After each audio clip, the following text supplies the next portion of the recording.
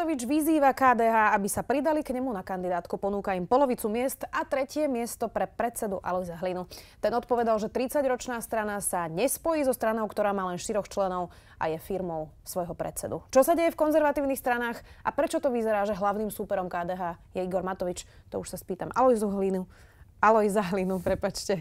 Sme video, vítajte. Ďakujem pekne za pozvanie. Som to zle vyskloňovala. Uh, ospravedlňujem sa. Viete si predstaviť spolupracovať s Igorom Matovičom v jednej koalícii, keď vidíme, že teraz vlastne posledné týždne máte konflikt? No, s niekým robiť musíte, niekto vládnuť musí. Aká existuje alternatíva? Ja si myslím, že Slovensko, preto čo potrebujeme urobiť, a že koľko zmien treba urobiť a v akých oblastiach, tak len čisto matematicky bolo lepšie, keby nás bolo menej. Lebo o to znižujeme riziko toho, že sa pohádame. Takže ja som veľký fanúšik toho, že tú zmenu by mali priniesť na Slovensko 3 alebo 4 strany. By to malo stačiť. Uvidíme ale, ako rozhodnú voliči. Presne tak. Pýtam sa ale uh, aj preto, pretože uh, posledné týždne sa naozaj valí strašne veľa informácií o sudcoch, o kauze Gorila a ono to vyzerá, že vy ste dvaja úhlavní nepriatelia. Ja sa tiež tomu čudujem. Uh, Igor si naozaj, ja neviem, dal, strelil dať kofeínku do, zadku, do zadnej časti tela, aby teda vládal. Naozaj obdivuhodná, obdivuhodná kadencia. Len otázka je, že čo má byť na konci, lebo ak si myslí, že nám ubere a sebe pridá, tak ono to neplatí.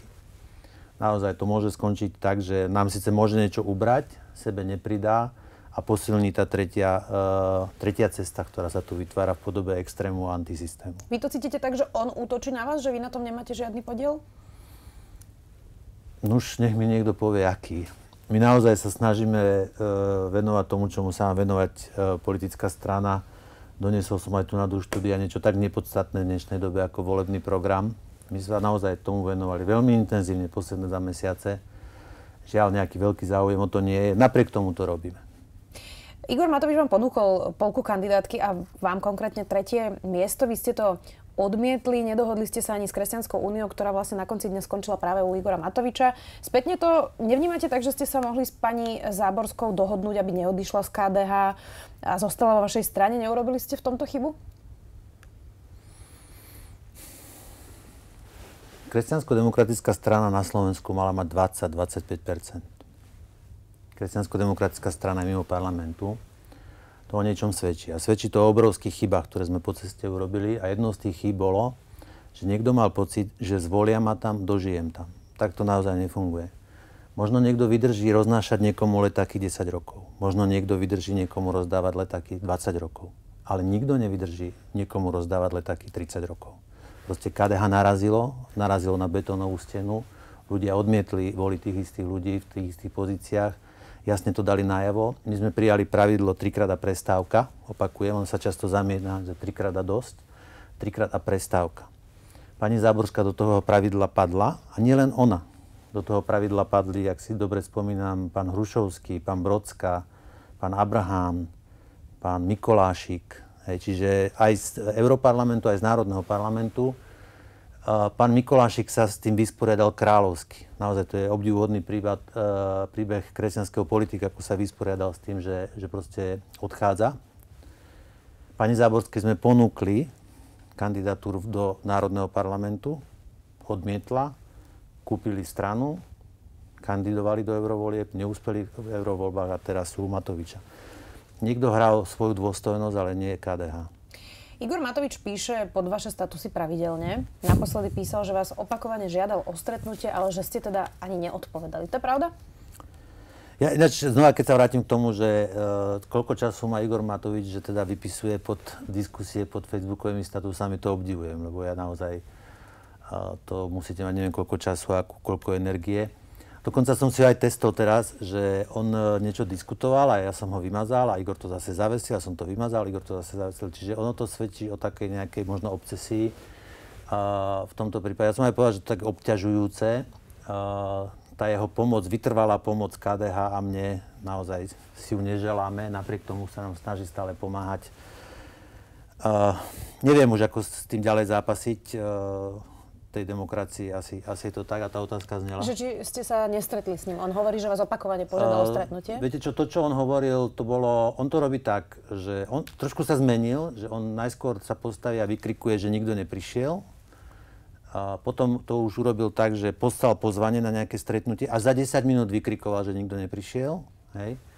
A myslím, že teraz to je v nejakej takej podobe, že on, nás, on ma niekde zavolal, potom aj pani Záborská odozdala list e, v štúdiu, tak to vizuálne, a neviem teda, čo sa očakávalo, ale viete, v KDH je kresťansko-demokratická strana, sú určité postupy a, a my aj reverzne ich sa snažíme aplikovať. Tak takto to nefunguje s nami. Uh-huh. Posledný prieskum Fokusu cez víkend pre televíziu Markiza ukázal, že KDH má zhruba 6,5%. Predbehlo vás napríklad sme rodina Borisa Kolára. Tí majú 7,2%. Čím to podľa vás je?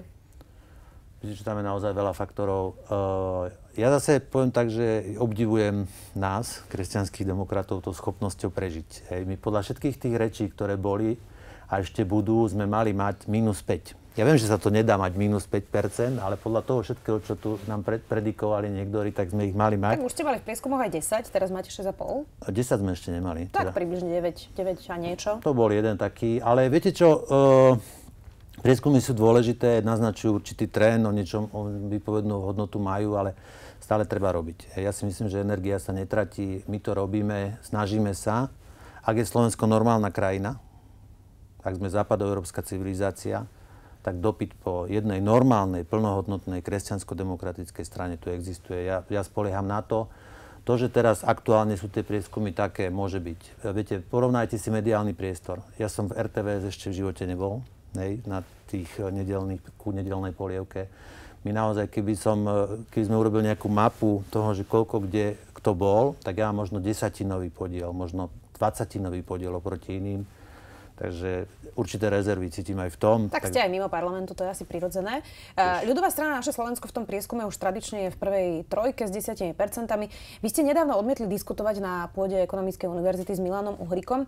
Je to podľa vás riešenie nediskutovať? Mm, zaujímavá otázka. Uh, ja napríklad som nemal dobrý pocit z tej diskusie z teatry teraz, čo bola s Kotlebom. Hej. Igor Matovič. Igor Matovič. Mne sa to pomaly javilo také mojkanie, že teda, že veľa nechýba a teda si tlapnú. Nie som si celkom istý. Ako, treba si fakt, že zvážiť, vyhodnotiť, uh, že ako k tomu pristúpiť. Nemám v tom úplne jednoznačný názor. Mne sa skôr pozdáva, e, skôr sa mi pozdáva nechodiť pocitovo. Pýtam sa preto, že doteraz nikto nediskutoval a vlastne im tie preferencie stúpajú. No, otázka stojí, že uh, keď teda by sa s nimi diskutovali, že či sa to zastaví, hej, lebo ja som aj dneska počúval váš podcast, uh, kde ste teda analyzovali, že nie som si celkom istý. Hej. Uh, ono to súvisí aj s tým, že, teda, že ako sme chodili do školy, ako sme v škole počúvali, hej, uh, koľko toho kritického myslenia v nás je a koľko z nás, v nás nechalo to, ten náš princíp, že prizeraj iba svoj valal, svoj chotár, nepozeraj napravo, naľavo Takže aby sme neboli prekvapení, že možno práve tou legitimizáciou niektorých uh, výrokov týchto ľudí na šir, do širšieho priestranstva to ešte môže nie že ubudnúť, ale narásť. Takže je to fakt, že taká hra s nejasným koncom. Sám som zvedavý, jak sa to bude vyvíjať. Dnes sa skôr pozdáva uh, naozaj ponúkať riešenia, ja tomu zvyknem hovoriť, že štandardná a neštandardná politika sú spojené nádoby. Hej. Ak e, štandardná politika prestane odpovedať na otázky spoločnosti, tak nárastie neštandardná. A zase presne naopak. Takže asi by sme mali ísť tým, že štandardná politika sa bude zaoberať problémami ľudí, ktorí naozaj trápia, drobnou obťažujúcou kriminalitou, úžerníkmi, nebankovkami, proste drobnosťami, ak by niekto povedal a vlastne sa potlačí úplne automaticky e, ten extrémizmus a antisystém a nemusíme sa s nimi chodiť e, do televízie diskutovať. Akože ja mám s tým trošku problém. No. Vy ste kritizovali teraz aj SAS a Progresívne Slovensko, pretože sa im nepáčila učebnica náboženstva. Vy hovoríte, že je to teda o slobode náboženstva. A jedna vec je sloboda náboženstva a druhá vec je, že sa tam píše, a teraz odcitujem, kultúra smrti šíri potraty, eutanáziu, antikoncepčnú mentalitu, umelé oplodnenie, podporuje ideológiu rodovej rovnosti. V zátvorke je tam napísané gender. Ďalej sa tam píše, že cieľom kultúry smrti je nezdravý individualizmus, konzumizmus, ekonomická efektivita života, zabúdajúca na ozajstné vzťahy medzi ľuďmi. To je koniec citátu. To sa vlastne teraz učia, myslím si, že u osmaci na hodinách náboženstva. To, čo sa tam učia, výhradne určujú katolícky biskupy. Je to v podstate privilegované postavenie vďaka Vatikánskej zmluve. A v podstate na hodiny náboženstva sa nedokáže dostať ani školský inšpektor. Takto by to malo zostať? Je to v poriadku? Keď práve v ústave máme napísané, že Slovensko nie je viazané na žiadnu náboženskú ideológiu ani náboženstvo? No, to sú presne tie otázky, kde zase zakrútim krkom, hej, lebo ja mám naozaj ťažkú polohu. Ja som v našom konzervatívnom prostredí za liberálov, pri liberáloch som za konzervatívca, rozmýšľam, že čo s tým a skúsim na to odpovedať. Dneska je 28. Áno. No vidíte, to je pekne až symbolika mám pocit, že sa nezmýlim, ale 28.10.2010 bolo schválené biskupskou konferenciou kurikulum. Hej, to je proste to, čo tam má byť. Čiže je to koľko? 9 rokov. Čiže 9 rokov je toto v tých učebniciach. A podľa mňa za 9 rokov je dosť času, aby si teda to niekto všimol, keď teda na, naozaj na tom skutkovo záleží a chce to nejako vyhodnocovať ako rizikové.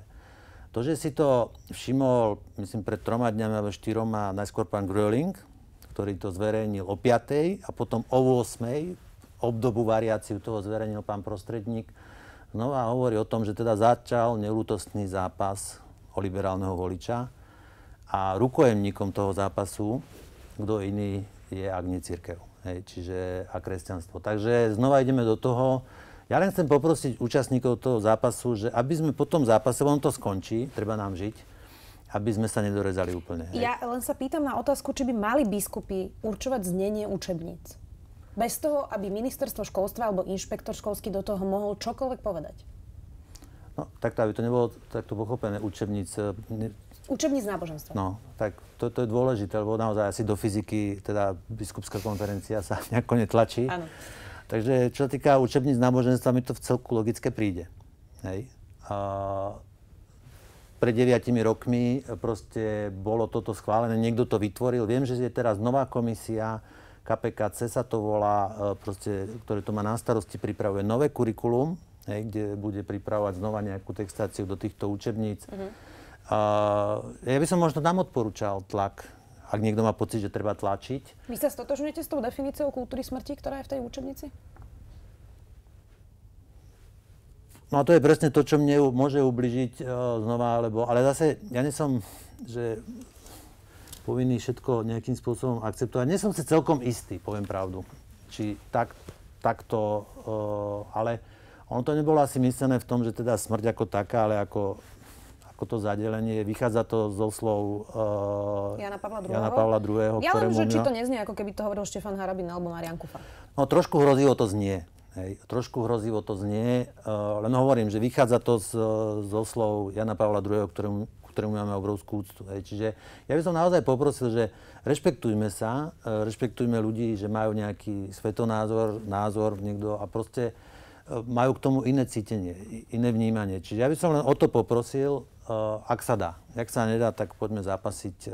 Len naozaj, je to tak, o tú slobodu náboženstva sme bojovali, je to 30 rokov odtedy, ako sme ju dostali a my, kresťanskí demokrati, budeme za ňu bojovať aj naďalej. Povedali ste, že aby sa teda církev nestala obeťou toho zápasu o liberálneho voliča. Ukázalo sa teraz, mm, že Slovensko a Česko najviac kleslo v akceptovaní homosexuality.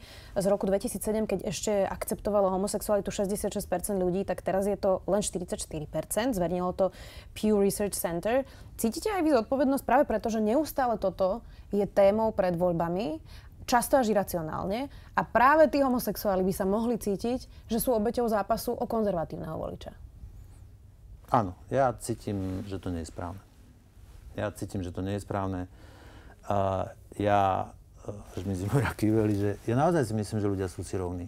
Hej? Uh, a mňa do toho nikto nedostane. Hej, že proste do tej hry na nenávisť, na tú vášeň, na tú amygdalu, na ten hadí mozog, hej, že zbudzujeme v ľuďoch tie emócie. Ja, ja do toho nechcem byť vtiahnutý. A mne je ľúto, že v našom konzervatívnom svete sa proste plieska správa napravo hej, a tak trošku citu, citu nám v tom chýba.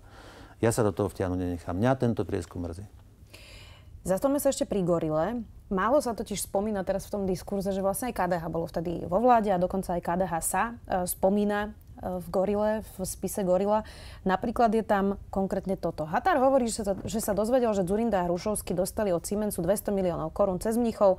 Hašča si myslí, že to nie je pravda. Hatar hovorí, že sa to dozvedeli od človeka zo Siemensu a tak ďalej a tak ďalej. A mašlo, malo ísť o nejaký konkrétny obchod za 2 miliardy korún na ministerstve vnútra a keď sa to dozvedel od Zurinda, tak KDH muselo ísť s ním na poli. Vy neustále hovoríte o tej tradícii KDH, ktorá má 30 rokov, je to úplne legitimné. Predsa len ale uh, cítite sa možno trochu zodpovedný práve kvôli tej tradícii, uh, keď ste si teraz vypočuli tú nahrávku, keďže aj KDH, aj keď vy teda osobne samozrejme nie, ste boli súčasťou vlastne toho celého spisu? Samozrejme, beriete plusy aj minusy. Uh, toto sú veci, s ktorými sa treba vysporiadať. A my vám poviem, že my sme prešli aj bolestný proces osekávania chápadiel Viete, tu bol krik, tu bolo pišťanie vo dverách, e, hovorilo sa o demokracii a neviem o čom, o, o záchrane kresťanstva, ale viete, na konci pri tom celom šlo, že my sme odstavili niektorých ľudí, ktorí si z politiky urobili biznis. My sme ich fakt odstavili a KDH bude robiť politiku. KDH predtým, ako predloží nejaký zákon, nebude volať do nejakej firmy, že či môžeme. Nebudeme. Hej. Čiže my sme tieto procesy zvládli, boli náročné procesy, bol krik. Preto sa aj čudujem Matovičovi, že ľudí, ktorých sme my odstavili, si on teraz položil na chrbát a chce ich vyviezť do parlamentu, nech sa páči, ale nech sa s tým vysporiada on. Čiže cítim, ja otvorene poviem, ja cítim určitú odpovednosť, len uh, naozaj uh, KDH je Notre Dame, to je stavba. Na slovenské pomery je to stavba, naozaj 30-ročná strana je dôležitá. Je to politologická forma, ktorá má svoj význam. To, že máme štruktúry, to, že máme hierarchiu, že pracujeme programovo, je mimoriadne dôležité preto, aby aj liberáli mohli byť, hej, preto, aby ste v obchode išli, prišli do obchoda, bol otvorený, preto, aby MHD fungovalo. KDH je dôležité pre systém. Je to Notre Dame. To, že tam boli kostolníci, ktorí teda nevždy boli, ak sa hovorí, že na, so všetkým 100% uh, plnili si svoje povinnosti, je vec, ktorou sa nám treba vysporiadať, ale nechajte Notre Dame Notre Dame. Nebúrajte Notre Dame, keď sa vám nepáčil nejaký kostolník. Takže my príjmeme aj určitú reflexiu k tomuto. My sa tomu nebudeme brániť, my sme súčinní, však mimochodom za mnou už nejakí policajti boli. Kde v kontexte čoho? V kontexte gorily, kde sa nás za niektoré skutočnosti pýtali. Hej, práve za KDH, myslím. Práve za KDH, mhm. bez problémov. A na čo sa vás pýtali? Na práve toto o Pavlovi Hrušovskom? Nie, viete čo, tam to bolo iné, ja už si to presne nepomínam, bolo to pol roka dozadu, ale súviselo to s gorilou, súviselo to, čiže ja aj tu deklarujem, absolútnu maximálnu súčinnosť e, od KDH môžu očakávať z pohľadu nejakých uh, účtovníckých alebo takýchto záležitostí. Len hovorím, že ja viem, čo viem hej, a odkiaľ viem. Ja niečo neviem, môžem sa spýtať, ale to neviem, nakoľko je relevantné. V prípade, že by ste našli nejaké staré, môžeme to nazvať asi, že čierne účtovníctvo, odozdali by ste to policii? No, to je ten problém so mnou, že ja by som ho odozdal. No. PS a spolu predstavili Lex Haščák, tam má ísť o to, že zrušia krížové vlastníctvo Penty. Vy máte nejaký plán, aby sa niečo podobné ako Gorila neopakovalo? No už to sa nezopakuje, lebo už není čo. Čiže naozaj to prebehlo, hej, tá privatizácia prebehla, takže v tomto rozsahu, rozmere sa to nezopakuje. Už je to aj o niečo desivejšie, hej, že my sme urobili teraz e, zo spravodlivosti priemysel, zo spravodlivosti tovar, ktorý si môžete kúpiť, čiže môže na, nastať nejaká variácia na tú tému. Čiže ak tá vaša otázka bola, že či sa... Či máte nejaký plán, aby sa to neopakovalo? Treba na to nejaké zákony?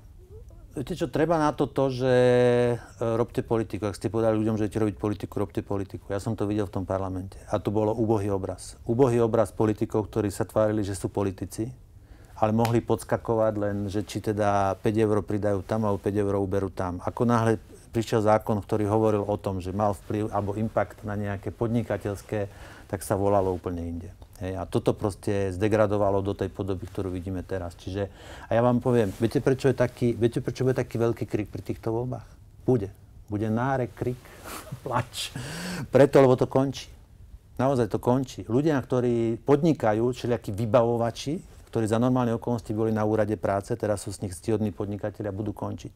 Lebo mám pocit, že prichádzajú do politiky ľudia, ktorí vám nebudú robiť panáčka za 100 eur. Viete, že nebudú podskakovať ako niekto píska. A toto zbudzuje obavy v niektorých uh, skupinách. A ale najvyšší čas, lebo to už je nedržateľné. To samozrejme uvidíme aj po voľbách, ako to dopadne a akí ľudia sa tam dostanú, pretože naozaj aj odborníci hovoria, že finančným skupinám sa darilo za zatiaľ všetkých vlád. Ďakujem veľmi pekne, že ste boli v SME video. Dnes tu bol predseda KDH Alois Hlina.